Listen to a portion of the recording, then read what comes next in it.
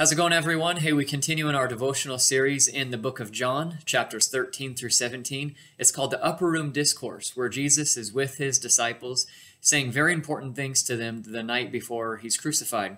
At our last devotional, we studied John 13, verses 1 through 20. I encourage you to check it out on YouTube. Today, we're going to be skipping past verses 21 to 30, which deals with Judas leaving the room to betray Jesus.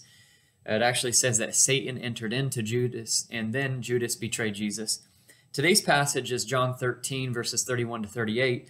Let's pick it up there. Therefore, when he, being Judas, had gone out, Jesus said, Now is the Son of Man glorified, and God is glorified in him. In other words, this glory of the Son of God, this glory uh, that God gives to him, begins at the process of Jesus laying down his own life. G- Judas has already left to betray him and Jesus knows what's coming. That's the context of the glory taking place. Then we get to verse 32, and Jesus says, If God, God the Father, is glorified in him, the Son, God the Father will also glorify him, the Son, in himself, and will glorify him, the Son, immediately. God will receive glory from what Jesus is about to do. Jesus will receive glory for fulfilling the Father's plan. God the Father's plan was to send Jesus uh, John 3:16, "For God so loved the world in this manner that he gave us his one and only son, and whoever believes in him will not perish, but have eternal life." The plan of God is that the Son of God would come to sacrifice himself for the sins of the world. And God receives glory from that plan, and Jesus will be exalted or glorified in that plan. But look at what Jesus continues to say in verse 33 about this plan, about this ultimate service it says in verse 33 Little children, he's speaking uh, endearingly to his disciples I am with you a little while longer. You will seek me, and as I said to the Jews, now I also say to you, where I am going, you cannot come. In other words, I'm going to be with the Father right now, but you can't go there yet. Verse 34 A new commandment I give to you, that you love one another, even as I have loved you that you also love one another in the same manner, in the same way I've loved you. You need to love each other as Christians. Verse 35 By this, by this type of love for one another, all men will know that you are my disciples if you have love for one another. How has Jesus loved the disciples up to this point? Well, the previous verses show to us that he is getting ready to lay his life down for them. The love of God looks like being a servant to others. And Jesus said, When you love others with a heart of service, when you love others by laying down your life for their benefit, that's how the world will know that you are my followers, you are my disciples. Listen, this is actually the point of coming to church together that we would gather to exalt the name of Jesus and that we would gather to love one another and serve one another.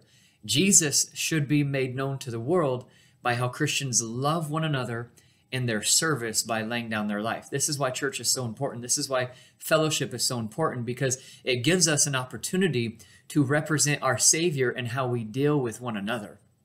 But look what Peter says, verse 36. Peter said to him, Lord, where are you going? And Jesus answered, Where I go, which is to the Father, you cannot follow me now, but you will follow later. Let's just briefly turn. What, what does Jesus mean, you will follow me later? Pick it up in John 21, verse 18 and 19. Jesus later on says to Peter, Truly, truly, I say to you, when you were younger, Peter, you used to gird yourself and walk wherever you wished. But when you grow old, you will stretch out your hands, and someone else will gird you and bring you where you do not wish to go. Now, this he said, signifying by what kind of death he, being Peter, would glorify God.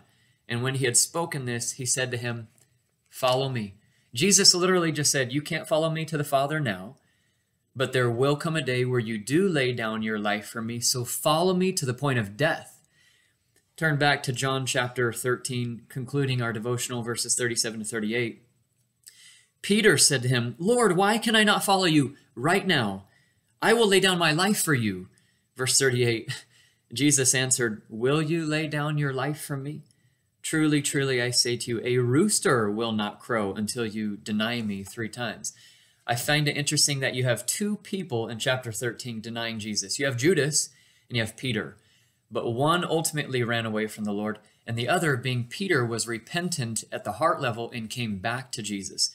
See, Peter one day will realize that if he really wants to follow Jesus, if he really wants to glorify God, he must lay down his life for the Lord and do everything that he has asked.